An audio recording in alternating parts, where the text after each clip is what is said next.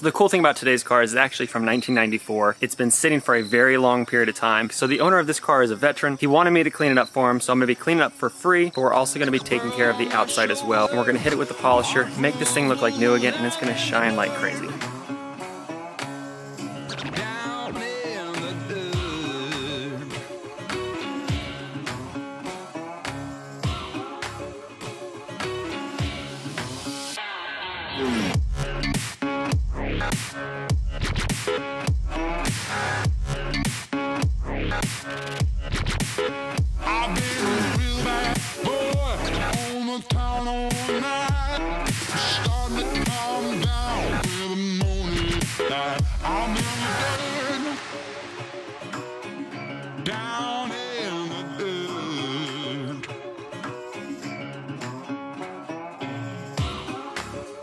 Now the start of my wash, I always rinse off the car with the pressure washer. It gets any of the initial loose stuff off the car, but I also like to hit the gas cap and also the inside of all the door frames because if you get it done with now, it gets all of that dirt out of the vehicle before you get to the interior later on.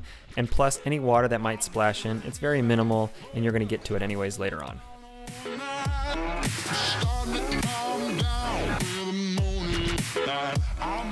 Now for all you foam cannon lovers out there, we're going to blast the entire car with a thick layer of foam, and this is to help loosen up any remaining dirt that's stuck to the surface. This will help loosen it, drip it off the car now if it can, or just make it loosened up so that way when we hit it with the wash mitt later on, we can get all that dirt off the car more easily.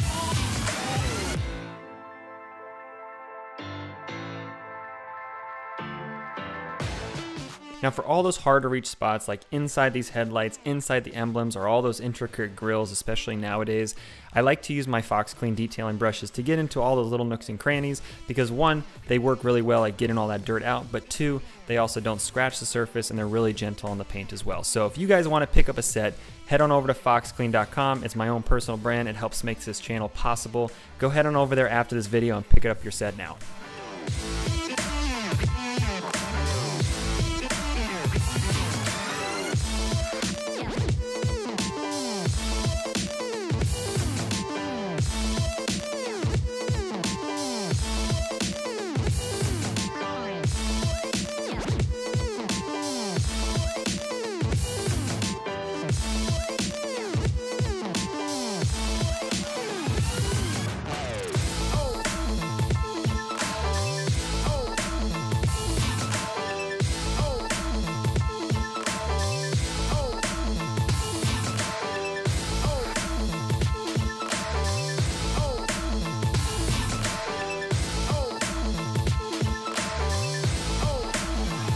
Now that we have the car all washed up, we're going to be using the clay bar to clay the outside of the surface of the paint to remove any contaminants before we get to the polishing stage. And if you've never used a clay bar before, they're actually really easy to use. The soapy water is your lubricant for the surface, and you're just gliding the clay with light pressure across the surface and feeling for any drag. The drag is the contaminant on the paint, and you'll feel it slowly start to deteriorate and completely go away to the point where the clay bar slides smoothly again. That's when you know you've removed it all, and this is a good thing to do before polishing because then your pad doesn't get saturated with all of that crap that's on the surface, and it lets it do the work on the paint with removing scratches or any oxidation.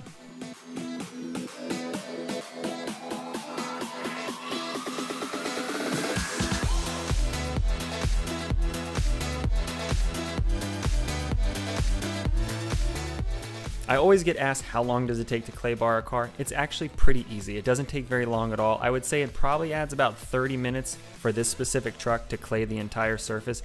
It's fairly quick. It doesn't take a ton of time, but it does make a world of difference if you're looking at protecting your paint. Thank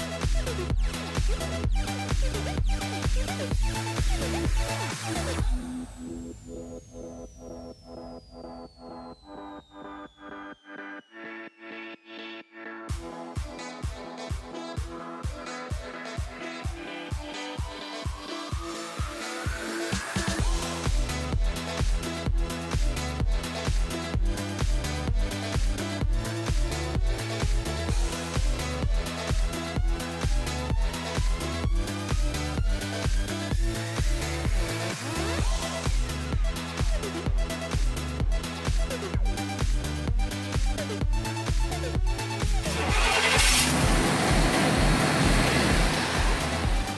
Now with the car all cleaned up and the car underneath the fluorescent lights, you can see the level of oxidation on the surface. There's swirl marks, there's light scratching, but then the oxidation to the clear coat is going to get completely cleaned up with a Chemical Guys VSS.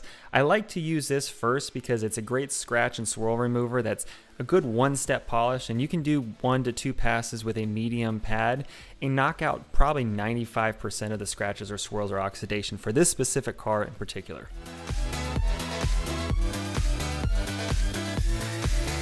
Now polishing technique is a whole separate video and if you guys want to see that let me know in the comments below. If you use a random orbital polisher it makes it really easy and almost foolproof to not burn through your clear coat and cause any sort of damage. It really helps with beginners learning and also even pros, especially nowadays with some of these larger throw ones and the different compounds that you can use. You can usually get away with a random orbital for most of the job and still get it done fairly quickly. And these shots right here, you can see on the left is nothing done to the paint, and on the right is just a single pass with the orbital polisher with the VSS. I'm gonna go ahead and follow up with a second pass, which is obviously gonna increase the clarity even more and get us about 95% of the way there.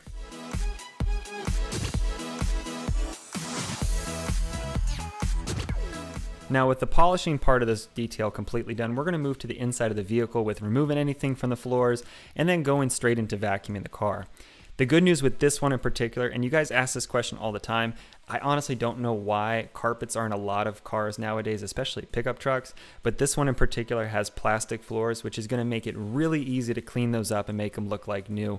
So we're going to go ahead and start with vacuuming the bench and do the extraction phase on this bench itself to clean that up first before we clean up the floors. The product that I'm spraying onto the seats for the initial cleaning, it's called BioBrake. It's a powder that you mix into your sprayer with hot water. It does a really good job of being low foam, but also breaking down any of that dirt and grease and everything else that can get onto a surface of a fabric.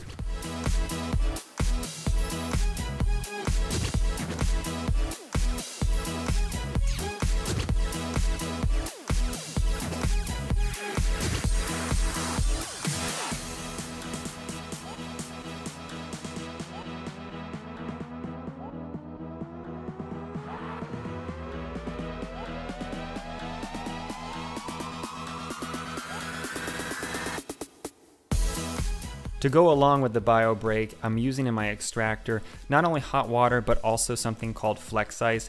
It's a post rinse that helps neutralize the pH of the bio break, but using the pair of them I've found to be probably the best carpet cleaning solution that I use particularly, and it makes it not only low foaming, but it does a really good job at cleaning up the carpets with typically one to two passes compared to other products that I use.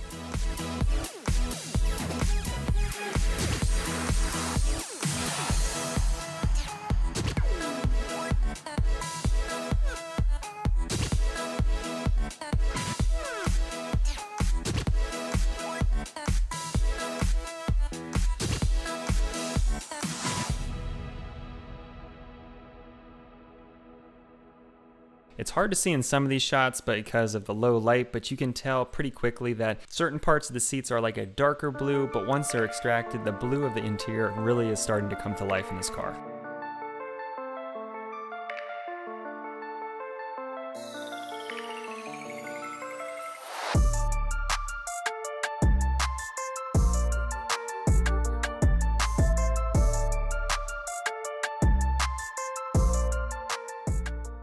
Anybody's interested, I have a surplus of chocolate milk available.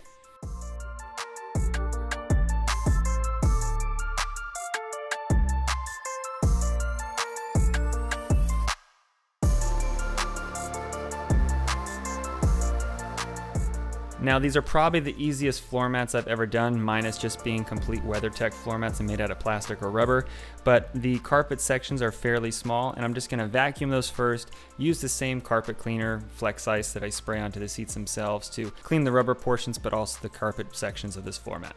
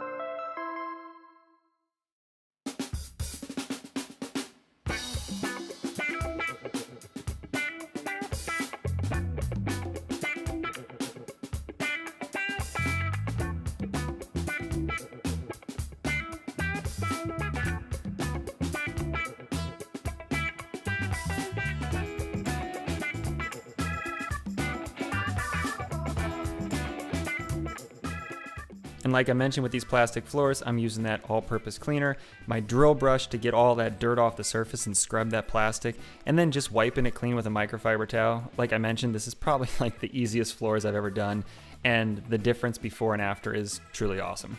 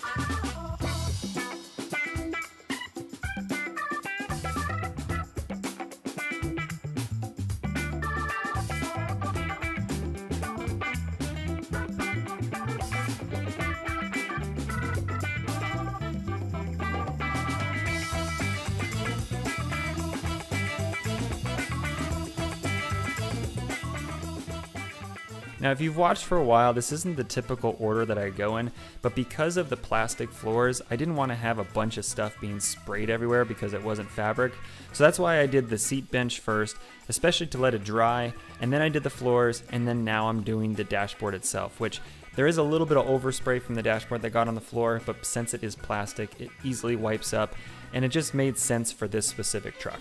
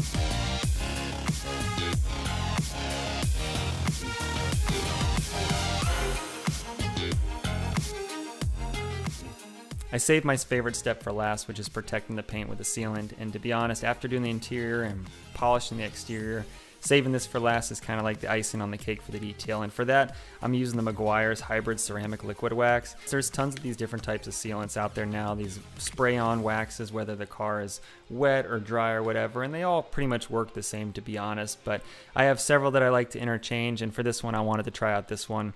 And it did a really good job. It went on really easily as well and came off really easily. And it's gonna last several months for the owner, especially if he's not driving it a ton.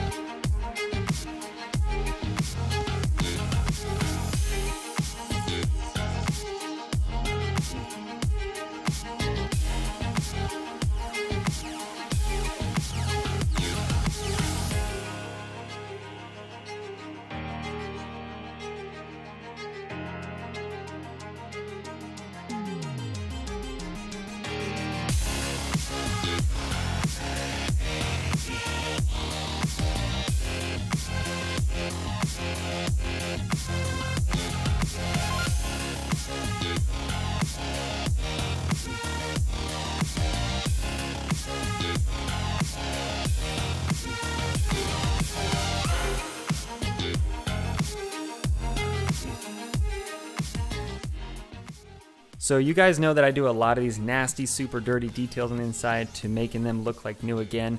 And this one is a little bit different because it is a 26 year old truck, so it's almost like a restoration. And I, I, I love doing these type of trucks and these type of details where you feel like you've taken something that was just weathered with time and bringing it back to life, bringing it back to new. And the owner was completely over the world with the end result. And he's excited to drive it, get it back on the road. And, you know, as a veteran, you know, I want to thank him for his service in the past. And any other veterans out there, thank you for your service as well. So, Thank you guys for being part of the Stauffer Garage crew, watching today's detail. And if you guys have any other videos that you guys want to see, let me know in the comments below. And if you aren't subscribed, smash that subscribe. And I'll see you guys in the next detail. Bye, guys.